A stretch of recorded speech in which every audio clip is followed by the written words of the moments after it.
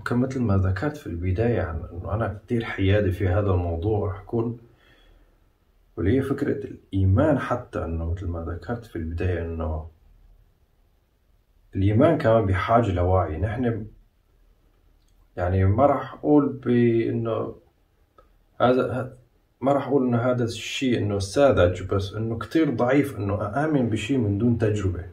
فنحن بحاجة الإنسان المؤمن بحاجة لتجربة. والإنسان الملحد بحاجة للوعي وليفكر بطريقة مطلقة.